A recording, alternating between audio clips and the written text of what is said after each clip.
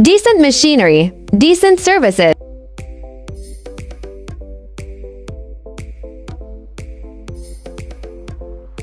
Типичные размеры различаются в зависимости от модели и применения, но обычно находятся в диапазоне от 500 до 2000 мм в диаметре рабочего колеса и от 1000 до 3000 мм в общей длине. Эти воздуходувки предназначены для использования в стандартных промышленных установках.